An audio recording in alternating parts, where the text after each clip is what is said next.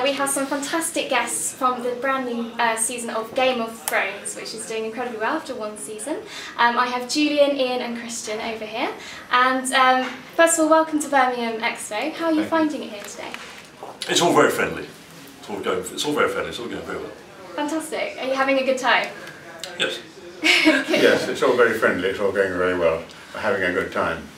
Yeah, met, met a lot of very enthusiastic people, but all very cool, all very cool people. It's good to be here. And um, you know the new series starts on Sunday um, in the US, and we're getting over here on Monday. Um, are you excited for the new season? Uh, for what? For the reaction of the fans? Uh, I can't wait. Um, I'm just back from America and uh, it's almost fever pitch over there and people are going absolutely crazy. Um, if you go to LA, all you see is banners and posters everywhere. It's it's so it's it's an honour to be a part of it, really. Fantastic. So, Well, yes, it's remarkable uh, what's happened to this series. Uh, you're quite, I'm off to Burbank at the end of the month and uh, I'm told that it's the biggest thing. that very much. It's going to be at that convention, the biggest thing. I mean, it's, having been a little tiny thing two years ago, uh, we're just about to start filming the third series of it. The second series starts going out, as you say, this week. The third series we start in June, June July, something, is it? I haven't heard any rumours at all. You're not in it then. Are you dead? Not yet. Spoiler alert. That's the thing, we never know if we're going to die, do we? No one's safe. There's some very good deaths coming up, I'm here to oh, fantastic. Well, don't give too much away. Don't give anything away. and um, from the reaction from the first series, um, are you surprised by how big this has taken off? Not just over here, but in the US as well and around the world. Um, no, actually, uh, to be honest, knowing the books, um, I, I haven't read the books to be honest, but um, I, I know people who are huge fans of the books, and the books are immense, incredible pieces of work, and th- there's no way this was going to fail. Um, the source material is so strong. Um, George R. R. Martin is a genius. Um, it's going to continue. I, I believe it's going to continue. Um, the, the books will carry it. I, I am not at all surprised from the very beginning. I haven't read the books either. I, I question reading books, the thing you're in, because you get influenced by the book rather than actually what's in the film. Um, in fact, if there's a character development of mine um, in it, which is not in the book, which is, which is really good. Uh, I was in no doubt from the very first day I went down to Belfast to st- start shooting that this was going to be terrific. The, the, the, the settings, the, the period, sense of period, although we don't know what the period is, is absolutely magnificent and it's so brave. The whole thing is so brave. I mean, everyone who's seen the first series will know you killed off your leading actor in episode 9. I mean, good God, what a brave thing to do, and it carries on. I'm full of trepidation for the reaction for this season. Uh, in in this upcoming season, I'm playing a character called Sir Gregor Clegane, the mountain that rides, um, which is a part that I didn't play in the first season. So um, I'm rather concerned that uh, fans are going to expect uh, exactly the same sort of violence and action uh, that it saw from the character in the first series. And of course, those scenes uh, weren't in the script, um, and there was uh, little uh, opportunity to explore uh, that side of the character. Um, what we see in this season is um, not a more subdued uh, Gregor Clegane, but um, a different side of him. Um, of course, he's not swinging a sword and decapitating horses every moment of every day. He does take some time off, and it's more it's more at home with the mountain uh, this uh, this season. Um, of, of course, he's a very minor character, and he only really um, comes into being when he's part of uh, a greater story arc.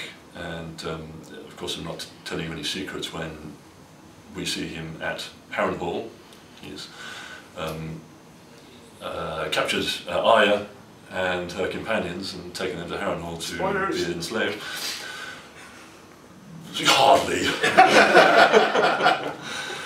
but what we're seeing uh, this season from the character is a more, um, you know, the the unquestioningly loyal servant of Tywin Lannister, rather than the sadist and the psychopath and the rapist and the murderer and the brutal bully who lacks every semblance of humanity on any given level. So, Like Lovely. quite a lot of other characters. lovely, lovely chap.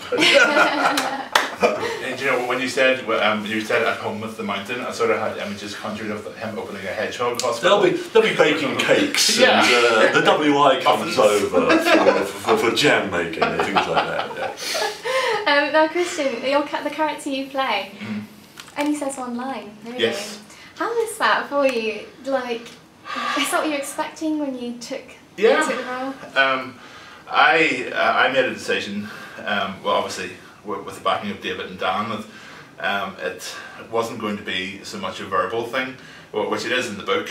Um, people very much expected that I would say Hodor in so many different ways. Like I, I want the tape measure, uh, that sort of thing. How can I say Hodor in, in a way that in that way? But uh, it doesn't translate that way on the show. I, I feel it's more of a physical thing because I obviously on camera you can use body language. Um, yeah, I, I think of him more like a mime. I, I can use my body to convey what he's feeling. But it, it's fun. I, I don't have any problems learning my lines.